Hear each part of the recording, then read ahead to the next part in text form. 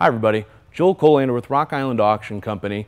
Here again, taking an informal and very quick look at some of the really fascinating items in our September 8th, 9th, and 10th Premier Firearms Auction. Right now, we're in the centennial of the Great War. So when you see a Great War item, it tends to attract some attention.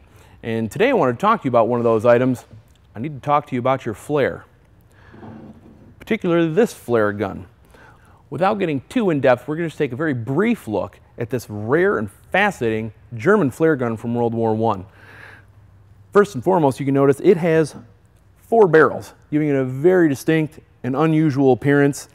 It's loaded with a small lever here. It's almost a magazine release. You can push and slide this out. Individually load your flares. When you slide it in, it pushes against this pin, which allows the firing pin, activated by this massive trigger, to be activated singly each time. Here you have a massive safety knob. And on the back, this is more than just a uh, your lanyard loop. You would not want to carry something this heavy on your person. It's most likely for mounting the hardware, so it can be fired over a battlefield to provide light for the soldiers. This is just one of hundreds of fascinating firearms and artifacts from World War I, our September 8th, 9th, and 10th Premier Firearms Auction. You can check out those items now, search for your favorites at www.rockislandauction.com.